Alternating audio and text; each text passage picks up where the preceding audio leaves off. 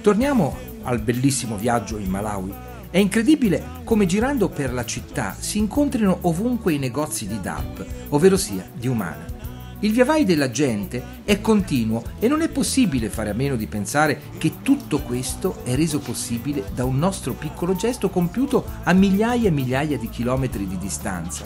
Beh, in questi negozi può entrare chiunque, naturalmente, ma esistono anche dei negozi riservati agli ambulanti che acquistano gli indumenti per rivenderli nei mercati o lungo le strade, perché in Malawi, dovete saperlo, quasi tutte le attività si svolgono in strada. Pensate che in aperta campagna ho trovato un ambulante che vendeva gli indumenti di DAP alle donne dei villaggi.